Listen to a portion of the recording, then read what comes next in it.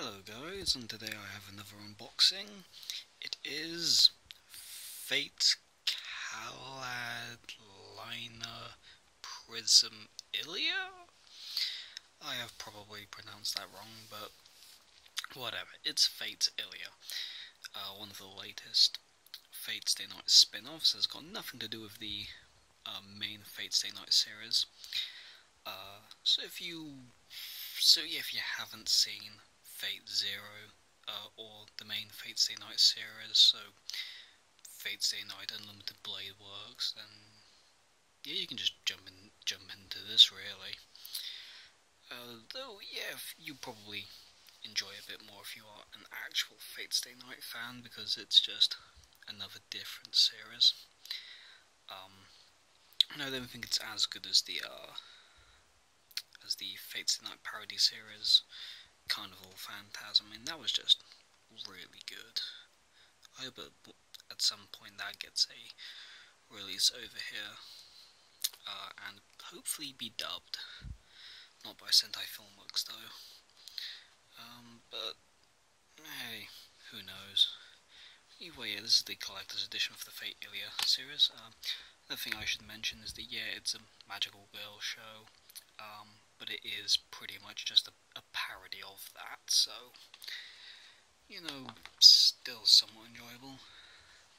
And it's fate, so, yeah, anyway. That's all. Yeah, here's some really nice artwork. Again, there's the spine. And, yep, here are the discs. Illya and Rin Tohsaka. Yeah, yep. Have a really nice picture. There is some really good artwork in this. Anime Limited do do some very nice releases. This is a this is actually a really nice release for the series. Yep. Yeah. This is a rather enjoyable series, especially for fans.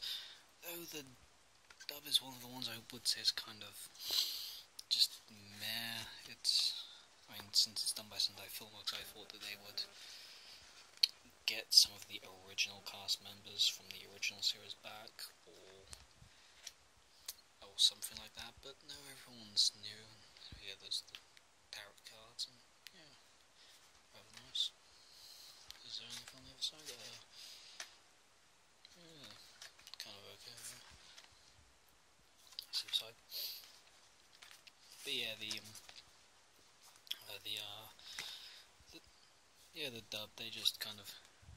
I got a whole bunch of new people. I think probably uh, some of the really good actresses that are in this series are um, kind of like side roles. I mean, definitely um, which is a bit disappointing, especially when Brittney Karbowski is in it. Uh, but she's only playing a side character. So from what I can remember, I can't really remember the series that well anyway, as bit of the artwork, some key animation, some key art, key artwork and stuff. Really nice picture, but yeah.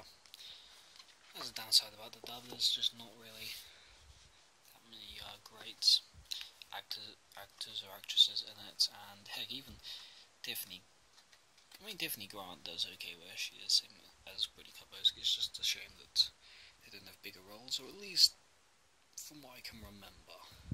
Uh, uh, anyway, I will definitely be watching this series again at some point, but anyway, yeah, that's the unboxing for the series. It's actually a really nice and well put together uh, Blu-ray collector's edition. The only thing I'd say that's bad is that I actually had to order this twice, and that was mostly because when I ordered it from Amazon, for some unknown reason, they they sent me a copy without the discs, so I had to send it back, and then they sent me another one. It's it was insane, so I would recommend trying to order this from all the Animes online store, or if you're going to Comic Con, see if they've still got it there.